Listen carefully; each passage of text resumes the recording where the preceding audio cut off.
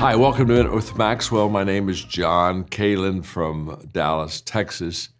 Who's one of our team members wants me to talk about the word decision. Um, I, I think that decision making is overrated. And I say that because I, first of all, I've made some bad decisions. I'll bet you have too.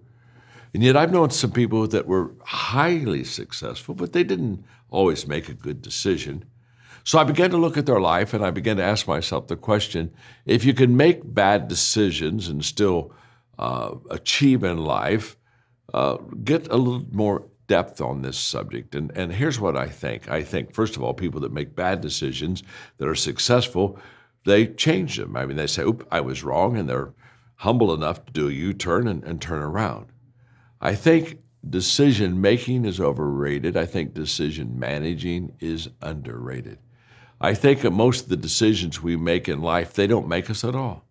I've heard people say, well, you know, your decisions make you. No, I think your decision managing makes you. It's not the decision I make, which may not follow through tomorrow. It's the management of that decision that allows me to achieve it and to receive the fruit and the benefits from it. So the next time you think of decision making, very quickly apply decision managing to that decision.